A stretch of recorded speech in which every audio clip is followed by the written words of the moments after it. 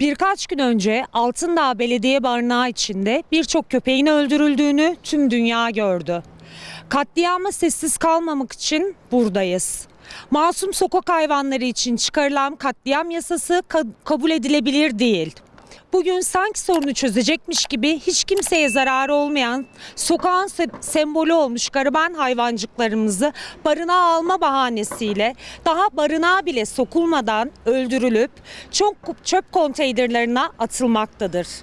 Bu zalimliği yapan Altındağ Belediyesi'ni protesto ediyor. Artık tek çaremiz olan Yüce Allah'a havale ediyoruz. Ayrıca tespit ettiğimiz ölüm çukurlarından çıkarılan onlarca köpeğin işkenceyle öldürüldüğünü, hatta bazılarının kafasının kesildiği görülmüştür.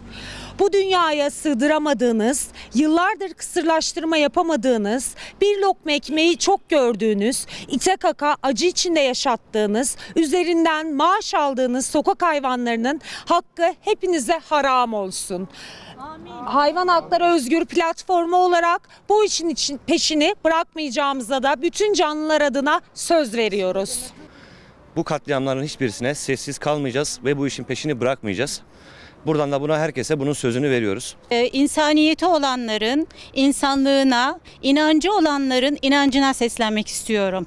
Şimdi e, bu sokak hayvanları dediğimiz grup Allah'ın yarattığı diğer bir topluluktur. Bizler inanan insanlar olarak bu topluluğun haklarını yok edilmesine, bunların katledilmesine sessiz kalamayız. Birileri bunu bu şekilde uygun gördü diye Allah'ın emaneti olan canlara gözümüzü katledilmesine biz bunların yumamayız. Kesinlikle ben bu konuda inanç hassasiyeti olanların kat be kat sorumluluklarının olduğunu kendilerine hatırlatmak istiyorum. Biz inancımızda merhamet etmeyene merhamet edilmeyeceğini biliyoruz. Bu sadece kendi türümüz için değildir. Bütün türleri kapsar. Diğer taraftan kendimize gösterdiğimiz hassasiyet yani kendimiz için istediğimizi başkası için de istemek durumundayız. Bu da yine kendi türümüz için değildir. Bizim inancımız Allah'ın yarattığı sistem içerisindeki bütün canları kaplar. Lütfen bu vahşete dur deyin. Öbür tarafta veremeyeceğiniz hesapların, sorumlulukların altına girmeyin diyorum bir ilahiyatçı olarak. Ee, ÇEDES projesi diyorsunuz. Çevreme duyarlıyım, değerlerime saygılıyım diye. Evet buyurun. Çevrenize ne kadar duyarlısınız?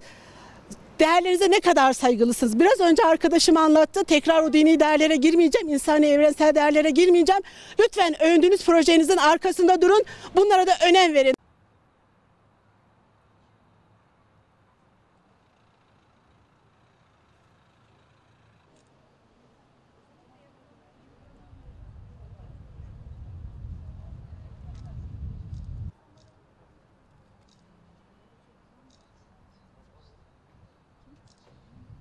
Biz buradayız. Veysel Tiryaki nerede? Biz buradayız. Veysel Tiryaki nerede? Eğer bu katliamlara son vermezlerse ben kendi adıma açlık grevine oturacağımı Ankara'da ve e, bilindiğin aksine farklı bir açlık grevi yapacağımı da buradan ifade etmek istiyorum. Susma!